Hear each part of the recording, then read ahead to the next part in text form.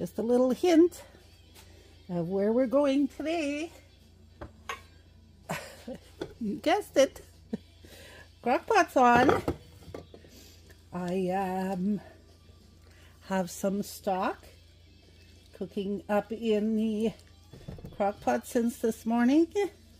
I soaked some white beans last night and uh, I'm going to um,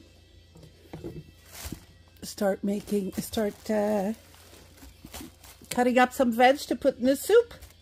We're going to have a delicious uh, Tuscan inspired soup with, you guessed it, my, one of my favorites.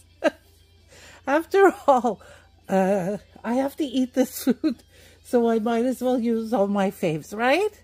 So today we're using the Tuscan chicken burger to make a delicious Tuscan inspired uh, soup. So I'm going to get going and we'll see you uh, soon. Okay, so here I am. The um, stock looks delicious.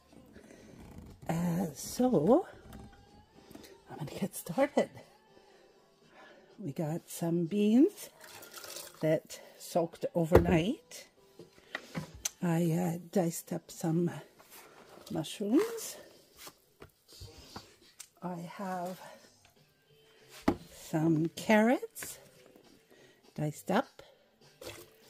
Uh, well, maybe not diced, but you know, in pieces.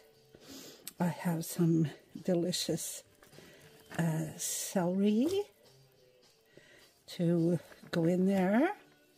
And I did um, slice up some cabbage, and then I thought, oh, that's too uh, very powerful um, gas enhancers. Let me put it that way. Uh, meaning the beans and the cabbage. So the beans will enhance the gas and the cabbage will give it that uh, aroma that we don't want. So I'm not going to um, add very much cabbage. I did put a wee bit, but uh, not very much.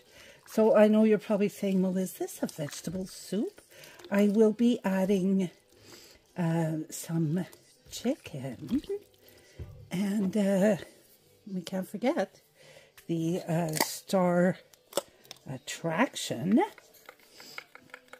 I am adding uh, one cupful, two tablespoons of Epicure's Tuscan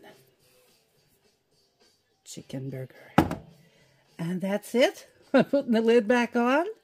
I'm going to uh, dice up some um, pieces of protein, some chicken, turkey, and, um, and pop that in there. And we're just going to let it do its thing while we go and do our thing for today. So, we'll see you in a little bit.